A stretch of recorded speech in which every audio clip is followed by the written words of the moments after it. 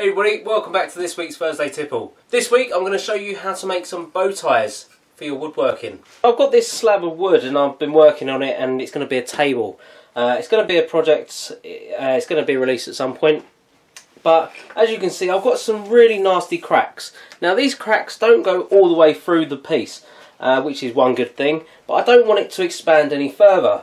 So what we can do is put in some bow ties and they're really simple. I mean, I've got a piece of walnut here, and all you do is you measure out and draw a bow tie. The first thing you need to make sure is that the grain of the wood is going to be going this way across the bow tie. Can you see there? Now if the grain was going this way, it's very easy for it to snap. So you want the grain to be coming this way of your bow tie. So we're just going to take this over to the bandsaw now and cut out this bow tie.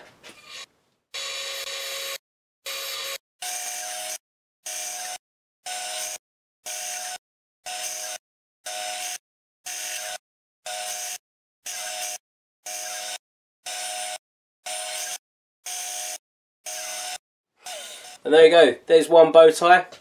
Now I've got one, two, three, four, five cracks on here that I think are going to be quite substantial if I don't put a bow tie on them.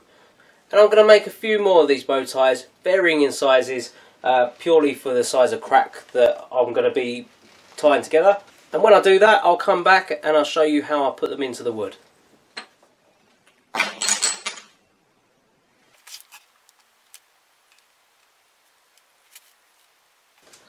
Okay, so now they're all in place, I'm going to be turning to my friend, Mr. Stanley Blade.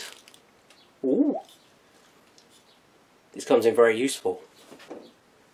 You can use one of these, but a Stanley blade is nice and thin. And it also starts cutting the wood for you as well.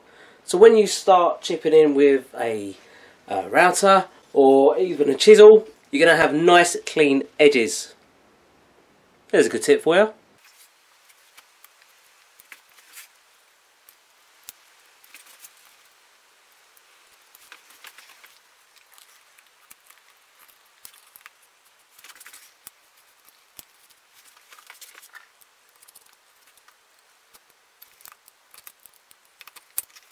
Because I've got uh, two similar shapes like this I just marked it with a different shape. So this one has got a circle this one's just got a line.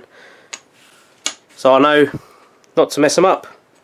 So to router this out I'm going to be using one of the smallest bits I've got. It measures in at around about just over 2 mil, two and a half mil, something like that. So I'm going to be putting it into my little Katsu quarter inch router this has come in so useful the last couple of days. It's an absolute trooper of a machine. If you haven't got one of these already, I highly recommend going out and getting one. Katsu. Not a promotion.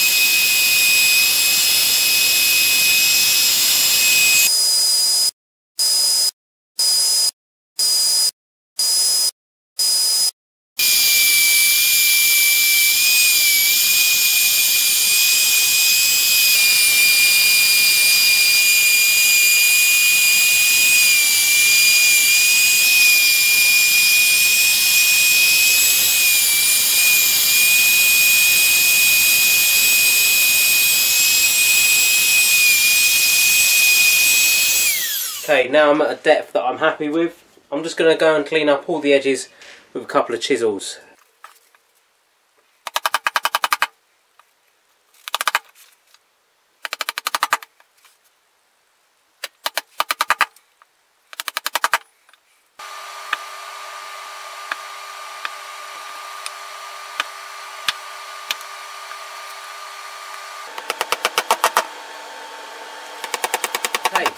So they're all done, chiselled out, hoovered, they're nice and clean. Now if you remember we used the Stanley blade to cut the wood, so hopefully these are going to be really tight in the holes. Uh, I just tried one out and it's nice and tight. So we're just going to move on to the glue now, put some glue into the hole and then hammer them home.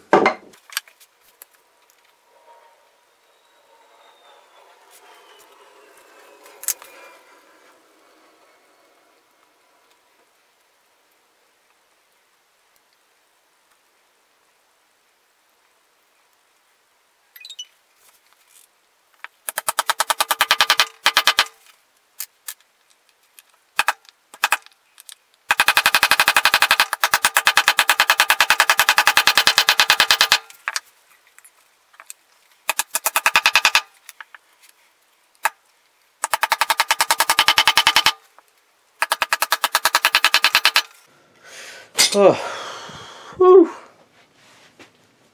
So now they're in place, I'm going to use my Stanley 220A just to go over and get them as flush as possible to the piece of wood.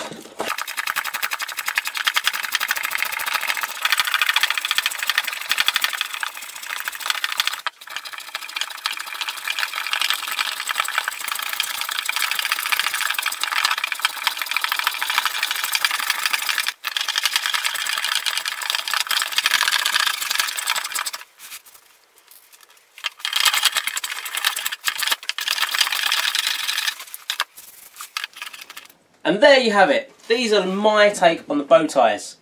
Now, two of them didn't turn out particularly well. Um, I did have to fill them with glue and sawdust, but that's something that I'm going to live with. They still look really, really cool. And I think once I put a finish on it, you won't notice it anyway. Now, this was pretty much my first ever attempt at bow tie, and I did it on a previous table, a learning one to this and it worked out really really well. Now I know that this sort of um, cracking needs some sort of support so these bow ties will hopefully keep it standing for a few more years. So I hope you've enjoyed this video and if you have please do click that like button down below and also as well why not click subscribe. Doing so will keep you up to date with all of my latest videos. So until the next time I'll see you soon.